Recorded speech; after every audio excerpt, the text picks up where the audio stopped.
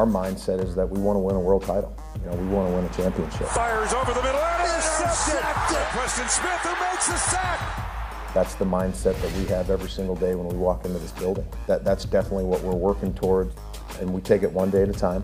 But that's what we're looking to do, and that's what we want to do, and that's why we're here working every single day. One key step toward competing for a championship the extension of one of the league's best shutdown corners. Rainbows down the right sidelines, glove-like coverage by Jaire Alexander. The 2020 Pro Bowler looks to pick up where he left off after being sidelined for most of last season due to injury. No one really realized what he did just to get back for us for the playoff game.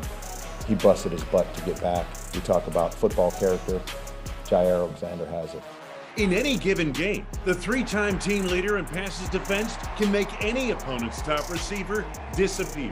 He throws right side, and it's broken up, intercepted. Oh, what a play made by Jaire Alexander.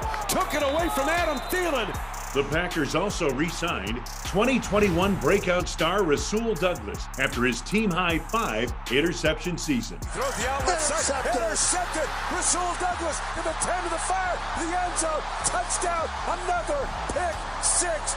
Add Eric Stokes into the mix, and Green Bay is poised to have one of the most dangerous secondaries in the NFL.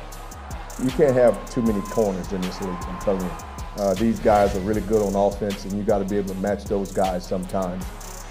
I feel like we could be a real good secondary to where, like, I know how all of us work. I know how all of us go compete day in and day out, and how we want the uh, best for all of us.